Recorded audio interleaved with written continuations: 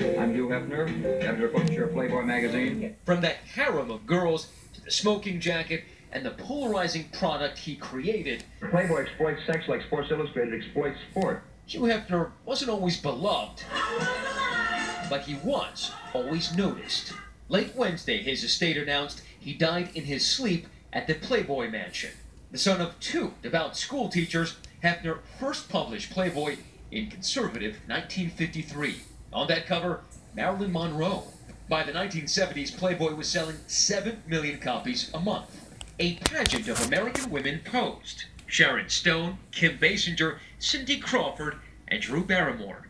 Playboy took flack from both conservatives and feminists, most memorably in this sparring session between Gloria Steinem, publisher of Ms., and Hefner, 35 years after she went undercover as a Playboy bunny. I do not find the body of work admirable, but at all. Uh, I think it's part of the problem, not part of the solution. We do know that in nature, at every kind of level, there you know there is there is the pursuer and the pursued. That's just Uh, not true.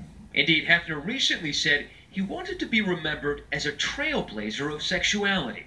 I would like to be remembered as somebody who played some positive part in changing the social sexual values of my time. That was Matt Gutman reporting in Los Angeles.